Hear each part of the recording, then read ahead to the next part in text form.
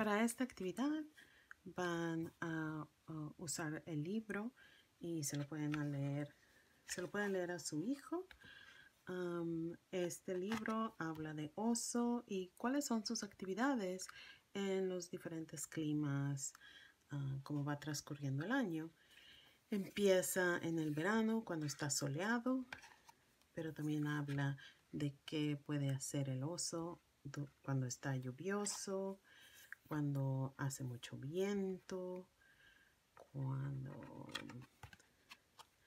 está todo helado, nublado, tormentoso, nevado y, así. Y al final del libro viene una gráfica con las estaciones y está el oso uh, con sus diferentes cosas que usa en invierno, otoño, ah, verano y primavera. Y está el árbol que se ve de manera distinta en cada una de las estaciones.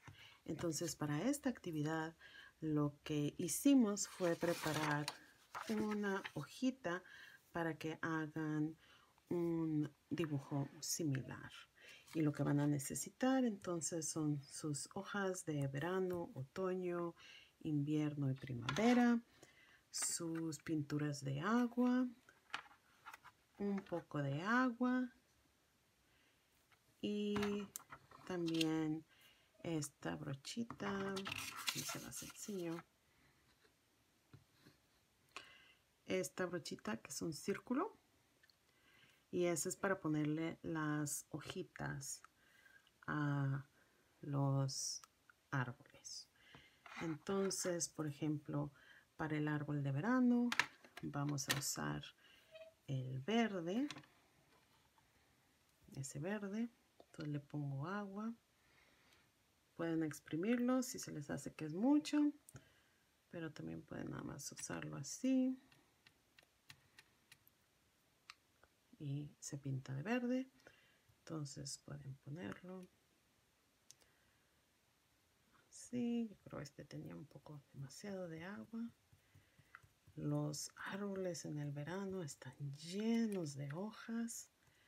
Muchas hojas de un color verde brillante.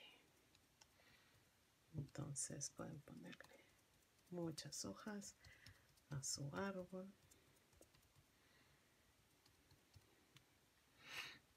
Ahora, para el de otoño, ¿de qué colores son las hojas en el otoño? Café y anaranjado, diría yo. Entonces pueden tomar un poco de café.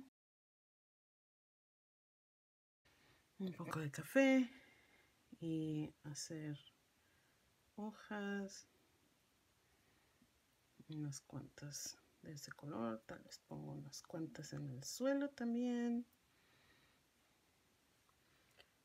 Luego voy a tomar eh, un poco de anaranjado.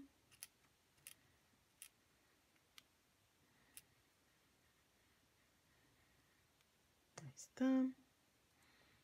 Voy a hacer unas cuantas hojas anaranjadas en el árbol, tal vez unas hojas en el suelo, porque en el otoño se caen las hojas.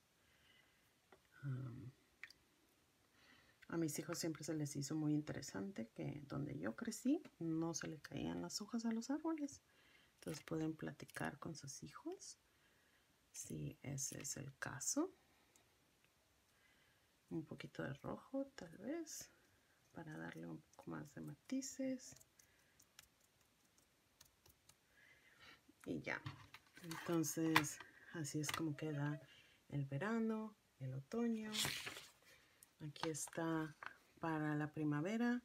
Lo que usé fue un rojo muy aguado para hacer como florecitas.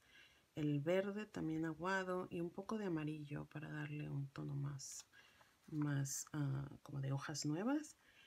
Y para el invierno usé un azul con mucha agua.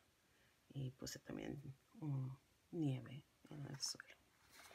Espero que se diviertan con esta actividad lo que hagan va a ser divertido.